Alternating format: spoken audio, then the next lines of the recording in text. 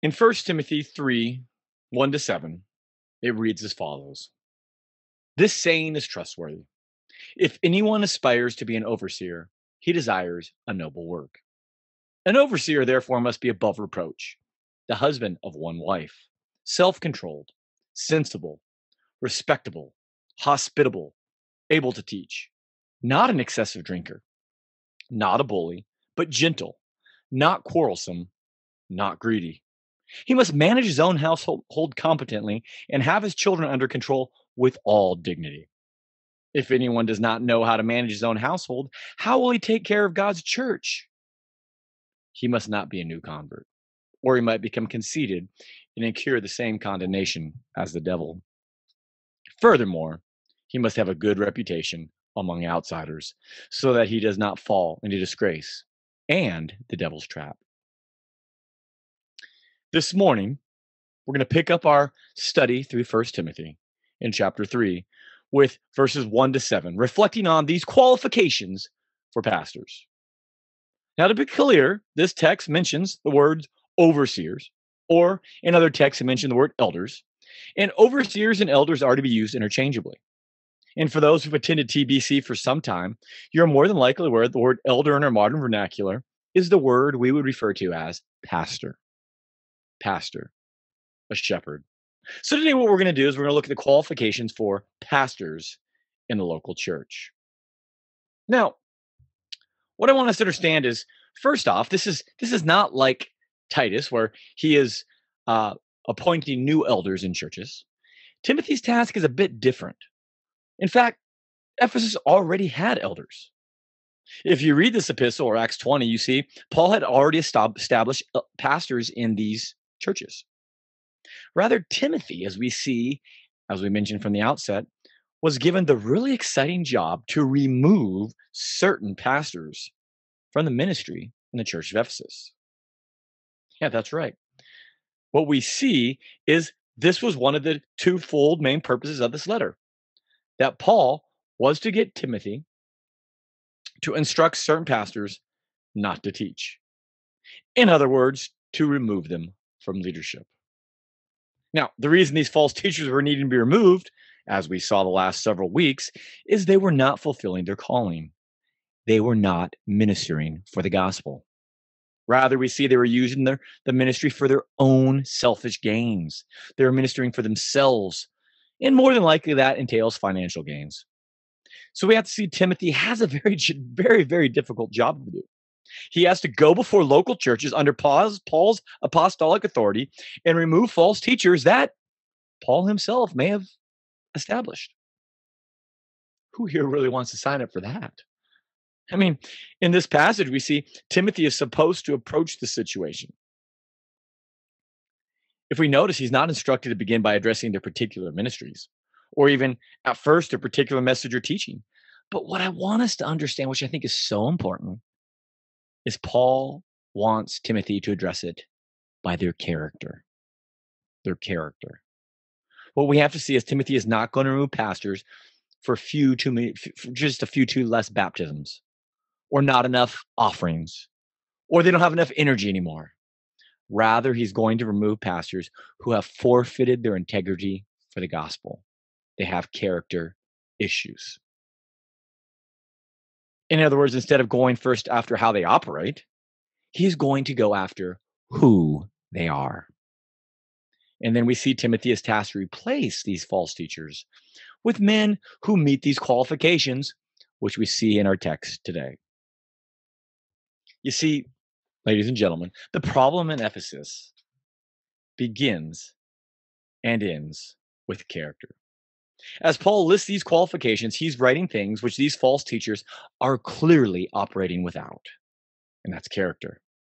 In this list of qualifications, many of the items which we read stand in sharp contrast to what it says elsewhere in the letter about these false teachers. So, the notable features of these seven verses are as followed and break it down to two sections. One, this passage gives qualifications and not duties, qualifications and not duties. And two, the majority of the qualifications listed reflect outward, observable behavior. So, first off, let's look at our first point. This passage gives qualifications and not duties. Like I said in this passage, the duties of the pastor are not listed. You won't find them per se here. We don't see, uh, like we do in Acts 20 or Acts 6, that elders are supposed to guard and keep the flock. We don't see requirement for pastoral prayer. We don't see duties such as visitation or even church administration at all listed. I mean, if it's really, if we're really honest, it's really amazing the duties that we don't see for a pastor mentioned in this passage. Notice that we don't see the requirements for a great public speaker. In other words, we don't see that the pastor must be able to hold an audience with, with their attention while they speak. So, no requirement for a great motivational speaker, no requirement for a great fundraiser. And honestly, we don't even see a requirement for having a great education. Don't have to have a doctorate. We don't see any of this. But what we do see are character qualifications. What we do see is these men are supposed to have integrity, a good reputation. We see a pastor is to continue to be a man of peace, a person who embodies the peaceful, loving lifestyle that has already been detailed through this epistle. We see qualifications which clearly these false teachers did not possess.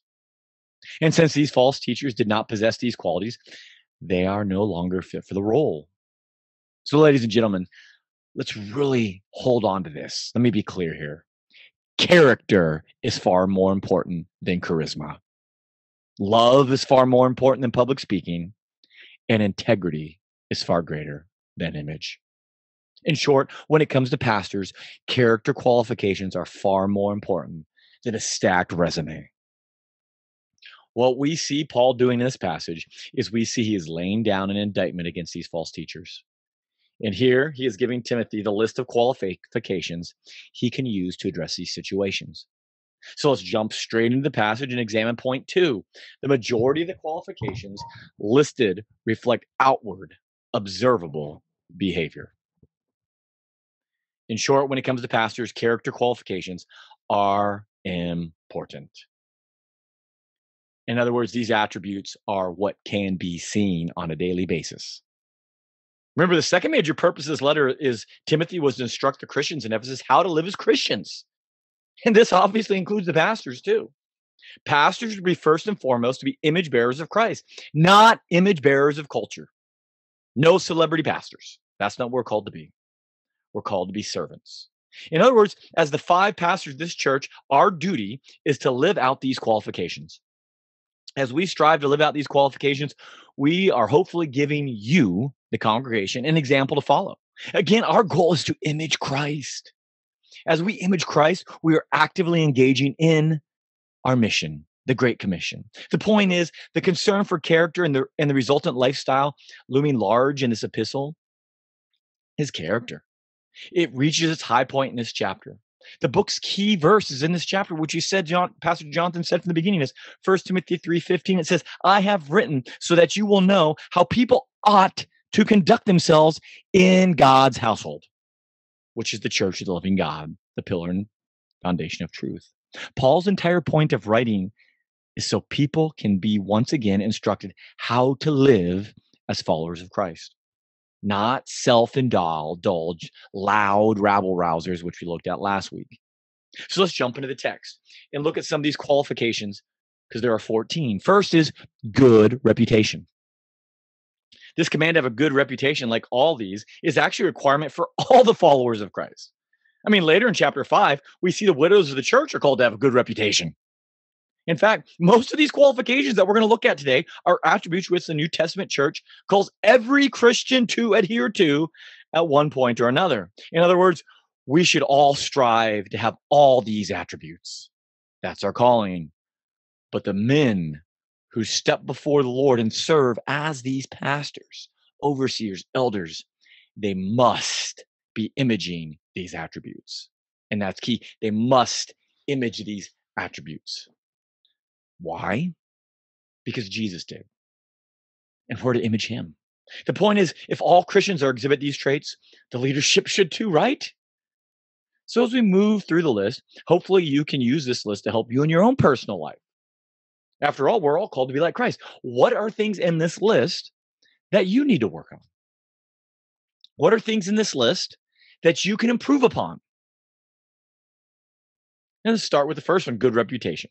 Good reputation means this person to be a kind of person whom no one suspects of wrongdoing or immorality. And again, that should be calling for all of us, right? I mean, let's be let's just give it a, a very feasible example here. Let's think about our work, where we work. At work, let's say whatever your work is, something happens. Something goes down. Maybe something is missing, I don't know. Something bad happens.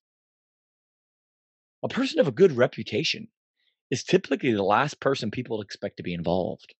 So let's say something goes down at your work. Are you the first person that people assume did something wrong? Or are you the last on the list? I don't know. I mean, that's just something we need to think about. How is your reputation where you work? How is your reputation in the church? How is your reputation among people? Point number two is good marriage. The actual Greek here is says a one woman man. One woman man. And and our first instinct would be to think of polygamy. But uh, Pastor John MacArthur points out that this one woman man aspect does not refer to marital status as much as it does to moral and sexual purity. So, this one woman man idea does not necessarily mean, mean quantitative, as you have multiple wives, although we could look at other passages and see that's wrong too. But the phrase is actually more qualitative. Like all of these, these are qualitative, not quantitative. Like every other item in this list, it should be seen as a quality of a pastor. And you go, a quality of a pastor is a one woman man? What does that mean?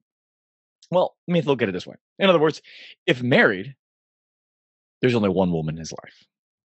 He is totally committed to one woman. He is a covenant keeper. And I think that's what we need to see there. He's faithful to his wife, he's faithful to his covenant with her. People who are faithful to their covenants are like people who you want in leadership. If a guy's going to be faithful to his wife, he's going to be faithful to the church, he's going to be faithful to his service. You want people who are covenant keepers, not covenant breakers. Three, self controlled. This means not reactionary. This is a big one, as we saw last week with this church in Ephesus. We saw the men of Ephesus were very prone to be reactionary. They were prone to lift up arms in anger or violence when things did not go the way they assumed. And this is sin. Being reactionary is not having self control, it's not being able to control one's emotions or reactions. Pastors need to have this ability to say no, to step back, to not react. Four, sensible. This, like self control, is a characteristic which a person will think things through. Be patient. Connects the other one. Find a better way when reacting in anger or violence. They're clear headed. Some translations say sober minded. They will find a better solution, a better way, or we could say a peaceful solution. Five is respectable. This describes a person who is honest good and proper. In other words, they handle things with dignity, with order. Their reactions stand out in a very positive way. Six, hospitable. The Greek word here for hospitable is philoxenos, which means lover of strangers. Hmm. This is a virtue of the people of God. It's a fruit of the Spirit. I mean, after Romans 13, 3 says a Christian, we're to contribute to the needs of the saints and seek to show hospitality. Sadly to say, I think this is one of the things missing in the modern church. We've talked about this in our one another passages. We have to be hospitable. This means we're to pursue opportunities to fellowship with other believers, but not just other believers. We're to pursue fellowship with non believers. This means Christians are have an open life with one another, at least. We're to share our lives with one another as a community. We're a family. This means to invite each other to dinner, have people at your home, break bread, be open. And again, this is a bit easier back in, in the days of like the Church of Ephesus because churches were in homes. So typically the people that were letting people in were very hospitable. They had house churches. Today we kind of lose some of this by having a defined meeting place like the buildings that we have at church. Don't get me wrong, these buildings are nice, but I think we do lose some vulnerability when we don't have people in our homes. With all that said, we should all invite fellow believers and even non believers into our homes, into our lives, break bread with them, show love to them. This is openness and vulnerability. This is expected of Christians. especially of pastors. This is a very qualitative. Seven, able to instruct. This is the only qualification on the list that a lot of times we think implies duty or role. I mean, all the other qualifications or character requirements, this is the only one that duty is involved. Or is it? Again, I want us to continue to think this in the idea of not quantitative, not a duty, but qualitative. It's a, as a quality. How can you have able to instruct as a quality? Now, hold on a second. I mean, I always find that interesting because honestly, the first thing people do when they are looking at or for a pastor is if this person can preach, can he preach? Having been through several pastoral searches in my day, the main things people focus on are if a person can rally an audience, can he bring about a revival, which I don't know if a man can do that anyway, it's the Holy Spirit, but anyway, or bring some emotion, bring some clarity. This means most people only look at one of the 14 qualifications. Ladies and gentlemen, there are 13 other qualifications. And one is listed twice, and it's not able to instruct. My point is, even we are guilty of overlooking some of these other 13 qualifications or characteristics. If this one of preaching and able to communicate, or whatever this means, is a sound. But what we have to understand, as Paul's pointing out here in Titus, this cannot be the case. The reason in Ephesus is the situation is because some of these people who were able to instruct, like Hymenaeus and Alexander, are misleading the churches. Many are clearly lacking in some of these other 13 characteristics. My point is, ladies and gentlemen, a pastor should be able to instruct. This means ability to teach truth and refute error. But again, it's also a quality. This should be seen as a quality. Does the pastor live his life instructing? And this is something that I think we should all think about. What does your life teach others? What does your life instruct others? As you walk around, as you have your interactions, how do you instruct others? It's a good introspective one. What we have to understand is pastors must be able to instruct others and they must be able to teach others by the way they live. And honestly, they must be able to teach others how to live like Christ. That's what their life must teach. Pastors must shepherd. And that's what we have to understand. There's far more to pastoring or shepherding God's flock than just preaching a knockout sermon. It's discipling, it's teaching, it's living a life that teaches. Instructing the flock is so very important, but we have to do it with our lives. Let's jump into number eight. It's an odd one, too. Not an excessive drinker. I mean, this means at the very least, a pastor should not be someone who is prone to overindulgence. We're not going to get off track here and say that a pastor needs to be a teetotaler and all this, but but let's be honest, many people do have addictive personalities. Many people do overindulge in certain things, and not just alcohol. I'm guilty. What we see here is a pastor needs to be temperate, in control, not easily swayed. People who overdrink or overindulge in alcohol tend to lose control. And in losing control, they slip many times into one of the next two categories that are listed. They become quarrelsome or they become bullies. Partly, I believe this characteristic comes before the next two is because people who lose control easily typically are more reactionary, going back to the problems that we've seen going on in Ephesus. And alcohol and drugs quickly allow people to let down walls and lose control. Am I right? Pastors should be temperament, even keeled, and they should not overindulge in things, especially things which could compromise their reputation. Because again, they're first and foremost to be image bearers of Christ. And Christ was not a drunkard or a person who lost control. Christ stood against chaos and disorder. Nine, not a bully, but gentle. Being a gentle person is, is clearly underrated. Being a gentle person is so easily overlooked by our society today. In some ways, our greater society is drawn to bullies. But let's be, let me be clear. It should not be that way in the church. Christ was meek and humble. He was not a bully. not loud, obnoxious, and demanding. Matthew 11, 29 says Jesus was gentle and lowly of heart. The world bullies people. The church should not. Church leaders should not. 10 quarrelsome. This follows a similar vein. It's been stated that when you have to argue to prove a point, you've already lost the argument. Arguing is more often than not fruitless. Even if you win the argument, the other person's lost. And when trying to share and live the gospel of peace, what kind of testimony is it to a person who has to always win? We must be careful not to be quarrelsome with people. It is fruitless for the gospel. We need to be showing gentleness, love, peace. We must be instructing a better way with our lives. So pastors should not be quarrelsome. 11. Not greedy for money. This is one that we see from the late, later passage in the epistle, as well as the next epistle, that some of these leaders are guilty of. It is inferred that many of the elders are engaging in practices that are lining their pockets quite well. So let's just be honest. If you want to make a lot of money in this life, being a pastor should not be your calling. Paul speaks so strongly against this.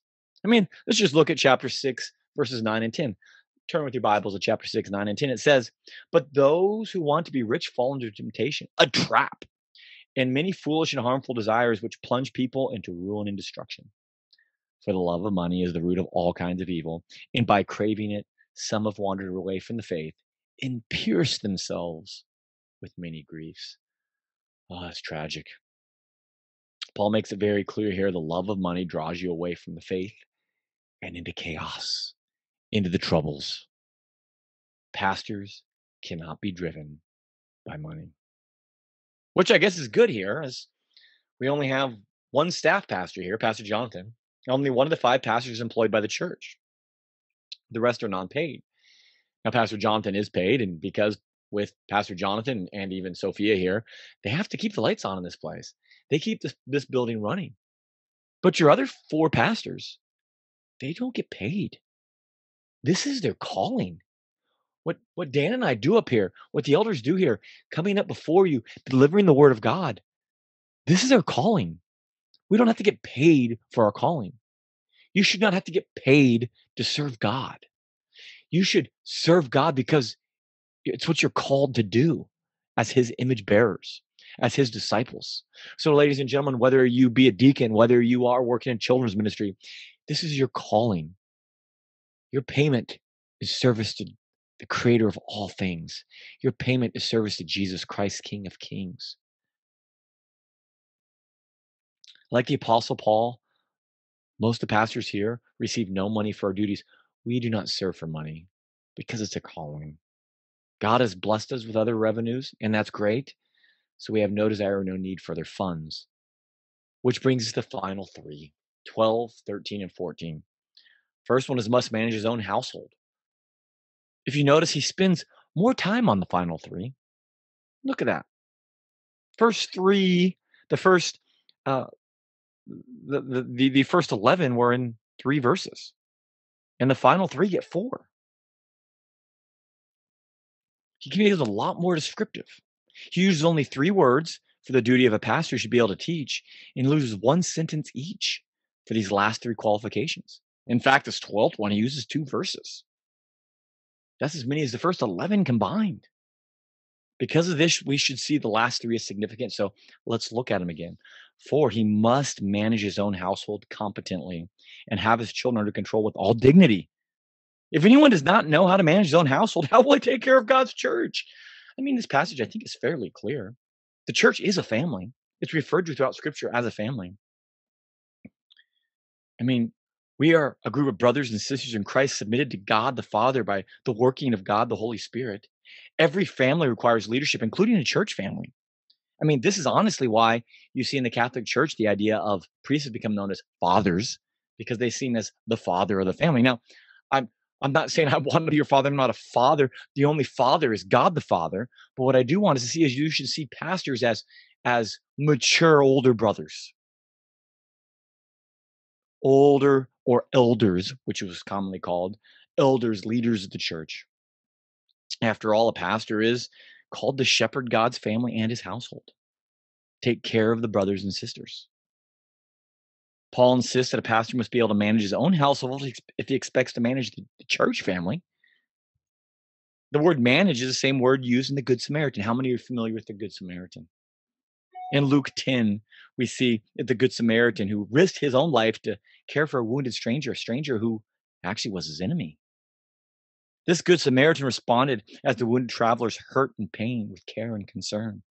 And this is precisely what an elder is called to do in the church. Pastors are to supervise, guard, nurture, manage the family as, like we see here, overseers, overseers of the family. And this responsibility to manage God's household led directly then into the next qualification. A pastor, elder, must not be a new convert. He must be mature in the faith. I mean, the logic of this next, next qualification is evident. He must not be a new convert, or he might become conceited whew, and incur the same condemnation as the devil. Ouch. I mean, the language here is so expressive and passionate. It would appear that perhaps that this has been a problem in the house churches in Ephesus. And I think it's safe to assume that. Some of these elders were, dare we say, new converts, and they were not mature, and they became conceited. And the warning here is they're going to get the same condemnation as the devil. Ouch. This is a problem. Newer believers don't necessarily know how to handle things biblically. I mean, let's be honest. The old man is strong, the flesh is strong. We have to kind of work at our salvation, so to speak, work at what it means to be a Christian, work at what it means to be a disciple, to truly begin to think and to live and to instruct our lives like followers of Christ. I mean, perhaps the problem is in many of these congregations, a lot of these newer pastors ran into an issue, an issue that they didn't necessarily see right away in scripture, and they reacted by the flesh. They went back to the way things work in the flesh, and they ignored the answer of how it was to be biblically. And this is just a show of immaturity. But we all have to be honest. There are many times we get in situations when we should lean into what the Bible says, and instead we go to our default. We go back to how we used to do things, whether it be handling money, whether it be how we react to people, whether it be being gentle or not, guilty. In fact, we can't lean on our own understanding, but we do. We do. It implies that many of these leaders had become prideful. They become conceited. They thought they knew how to run things and not do things necessarily biblically. And let me be honest, and I think this is where it kind of hits in with the devil here pride never ends well. The point is, pastors like Jesus must be humble.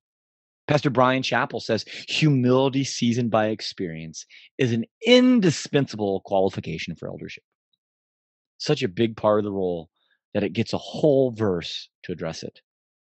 And finally, the last one good reputation. A little bit of deja vu here. Well, this is the one that we get on here twice. We got kind of an envelope, an inclusio. The final qualification takes us first circle back to one's reputation. As noted earlier, I always find it fascinating that the qualification that's mentioned, mentioned twice is not teaching, not instruction, but reputation. Character comes and is demonstrated by reputation. It says he must have a good reputation among outsiders. So, reputation in the community of the church and reputation in the community of the world. Good reputation in church, good reputation in community. This is key for two reasons. If the pastor has a good reputation in the world, he's living an ethical and moral way, which stands out, which means he's probably not a brawler, argumentative, or drunkard or harsh. He stands out even more importantly, means he's living the gospel life in the world, which is what we are to do. We are to be ambassadors of Christ in the world.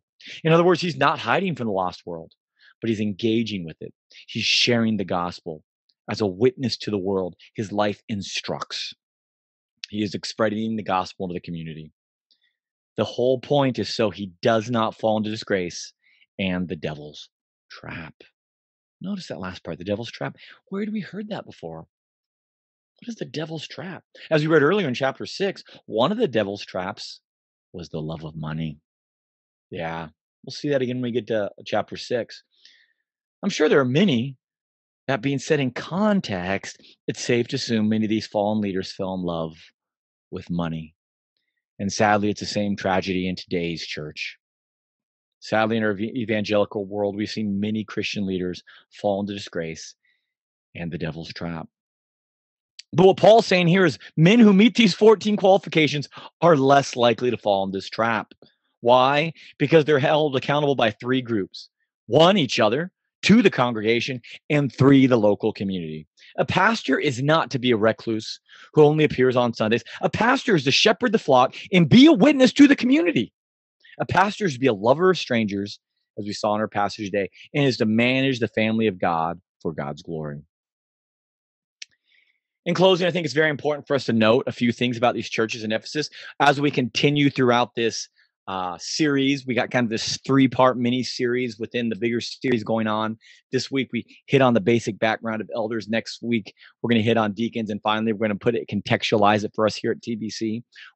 We've gone through in a month the first two chapters, and then we're going to slow down for 13 voices to 13 verses, excuse me, to really get at this idea of qualifications for leadership, whether it be pastor or deacons in the church. Why?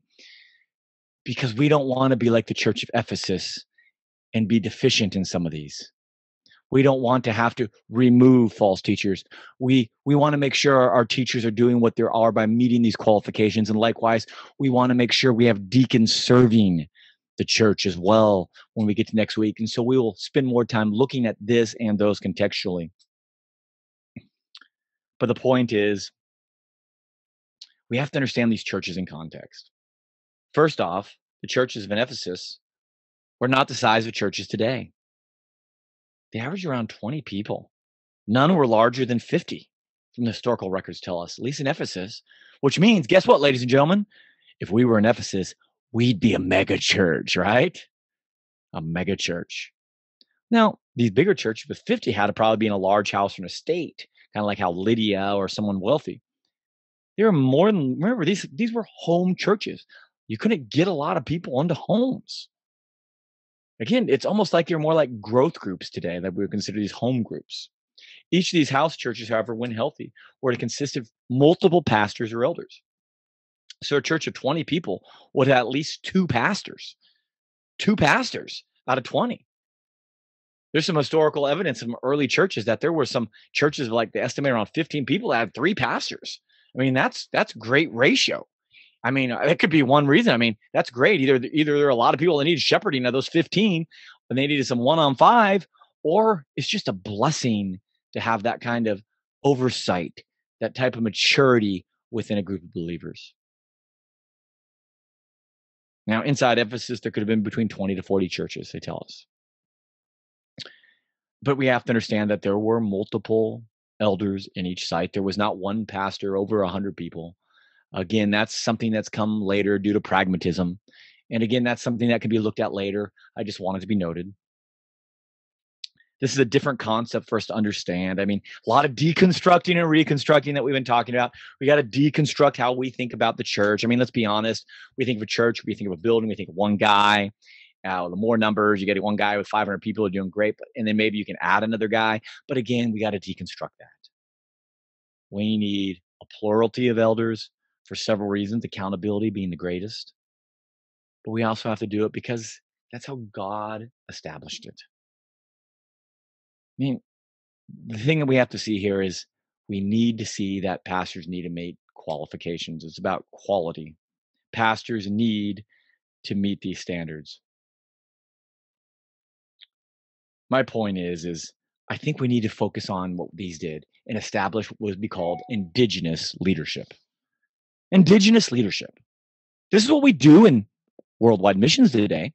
This is the missionaries that we support. They go over there and they kind of raise up local elders, let the pastors become pastors, run the church, and they move to other places. Pastors have to come out of the congregation. And again, this is a deconstruct, reconstruct idea. What we don't want is we don't want mercenary pastors. We don't see mercenary pastors in the Bible we don't see somebody from the Church of Rome coming in being a pastor in one of the churches in Ephesus. One, it's a different culture, different area. But two, you need to be able to have a reputation in the community you live.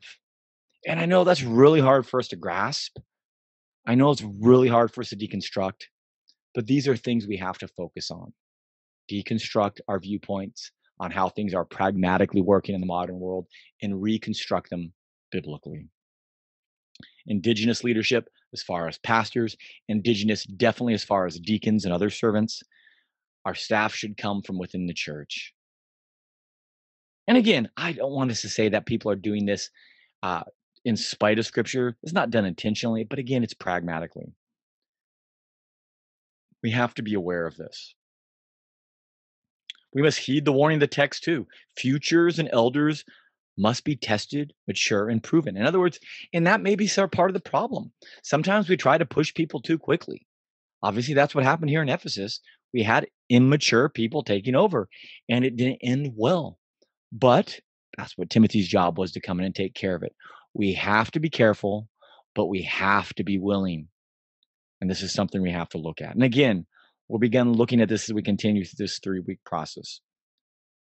But what we do have to understand is we are a church. We are God's church. We are not a business. We don't need men to save us. We shouldn't go hire a CEO. We don't need an Elon Musk or or a Jeff Bezos or somebody like that. But we we shouldn't go look to hire outside solutions. What we should do is we should look to raise men in our church to the office of shepherd. Again, indigenous is the key. Indigenous leadership. Let me remind you as we go through these weeks to pray for your pastors. They go through a lot. Pray for them. They're like you, they deal with issues just like you do. Like I said, four of our pastors work. They deal with the same daily problems you deal with. So please pray for them. We covet your prayers. And again, we as a church must recognize the role of shepherd brother in the flock, and we must pray the Lord begins to raise up other pastors and leaders in TBC as well. God bless you.